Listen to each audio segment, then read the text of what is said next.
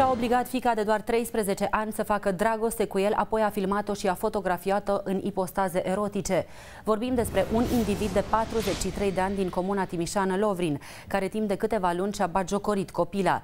Câteva dintre scenele erotice au fost văzute de frații mai mici ai copilei, care în cele din urmă au povestit bunicii ce se întâmplă cu sora lor. Bărbatul a fost ridicat în această dimineață de polițiștii de la crimă organizată și de procurorii DICOT Timișoara. După mai multe ore de audieri, a fost reținut. Spune-mi, ce ai făcut cu fata? Nimic, ce să fac? Ai violat-o? Ai te-ai culcat Nu. cu ea? Nu. Ai transformat-o într-o jucărie sexuală? Nu.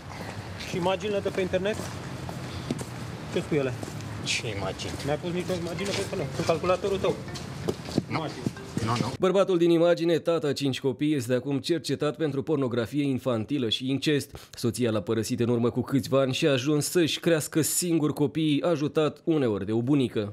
Timp de aproape un an, tatăl și-a bagiocorit propria copilă, a transformat-o într-o jucărie sexuală. Ba mai mult, a făcut-o pe fată să se îndrăgostească de el și să ajungă să-i trimită chiar scrisori de dragoste. Povestea a durat aproape un an până când una dintre surori și-a dat seama ce se întâmplă în casa familiei când tatăl rămânea doar cu adolescenta. Sora i-a povestit bunicii și mai apoi colegilor de la școală. Așa au aflat cei de la Direcția pentru Protecția Copilului care imediat au început o anchetă. Atât fata cât și frații uh, sunt uh, incluși într-un program de consiliere psihologică pentru a fi ajutați să treacă peste aceste momente. Chiar dacă fata i-a fost luată, bărbatul a continuat să o caute și chiar a convins-o să-i trimită poze și filmulețe cu ea în ipostaze erotice. Filmulețele le-a salvat apoi în telefon și în calculatorul de acasă. Procurorii și polițiștii de la combaterea crimei organizate l-au ridicat în această dimineață și l-au dus la audieri. fiecare familia lui, noi nu avem nimic, ai fratele nostru și nu...